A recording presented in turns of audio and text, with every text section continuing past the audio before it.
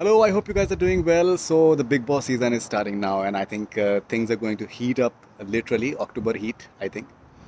And um, I think uh, lots of names are, are uh, doing the rounds, uh, and I genuinely feel that um, Faisal Shaikh, Munawar Faruqui, and Jannat Zubair, um, it, it, it's going to be massive if, if they are really going to be there in Bigg Boss uh, the way it is being said that they will be, then uh, I think it's going to be massive, literally.